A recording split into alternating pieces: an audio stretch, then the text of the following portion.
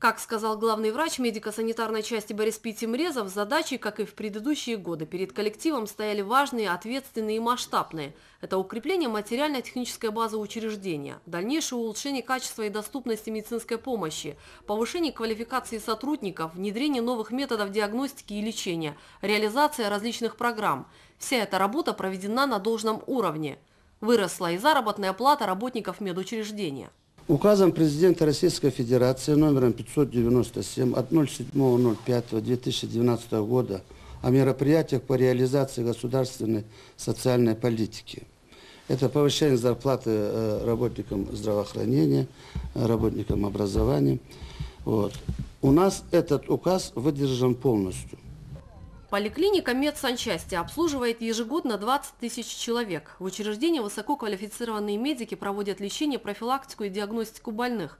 Главный врач Борис Тимрезов в своем докладе подробно рассказал о проделанной работе медучреждения и о том, какие новые методики и оборудование планируется внедрить в процесс лечения, что позволяет улучшить качество диагностики и доступность медицинской помощи населению, проводить медицинскую реабилитацию больным с хроническими заболеваниями.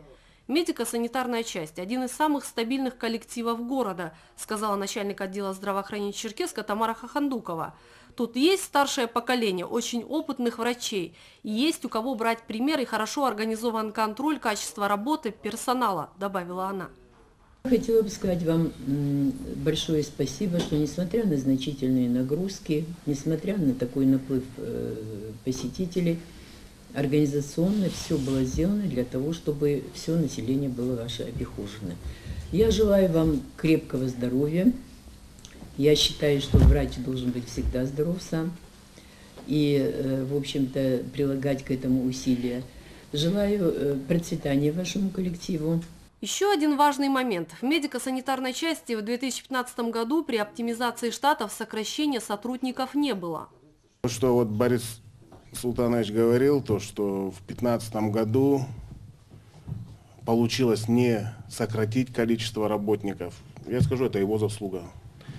Я не знаю, сколько раз мы с ним созванивались, сколько раз он приходил в Минздрав, чтобы всех вас оставить на ваших рабочих местах, чтобы не сократить койки вам, не сократить объемы. Я скажу, это он скромничает чуть, но это большую заслугу вашего главврача, то, что на сегодняшний день у вас не сокра...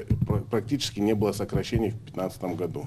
Министр здравоохранения Казим Шаманов поблагодарил коллектив за хорошую работу и озвучил приятную новость. В северной части Черкеска, где строится новый микрорайон, будет открыта и многопрофильная поликлиника. Возможно, это будет структурным подразделением медико-санитарной части. Алла Динаева, Али Бостанов, Вести, Карачева-Черкесия.